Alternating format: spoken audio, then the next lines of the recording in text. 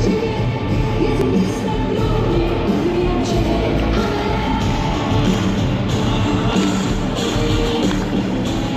Atlas Arenie w Łodzi rozpoczyna się właśnie spotkanie uczniów z archidiecezji łódzkiej pod hasłem Arena Młodych. Jest to wspólna inicjatywa łódzkiego kościoła i wspólnot. Metropolita łódzki arcybiskup Grzegorz Ryś liczy na głęboką refleksję młodzieży. Wtorek to spotkanie jest przeznaczone dla młodych ze szkół gimnazjalnych, w środę jest przeznaczone dla młodzieży pogimnazjalnej. Wiemy o tym, że zapisało się na to wydarzenie po kilka tysięcy młodych osób, więc bardzo się cieszę, że młodzi to zaproszenie przyjęli. Spróbujemy też zrobić wszystko, żeby to spotkanie spotkanie nie było jakimś wydarzeniem w życiu naszych młodych jednorazowym. A w rekolekcjach w łódzkiej Atlas Arenie ma uczestniczyć nawet 20 tysięcy osób.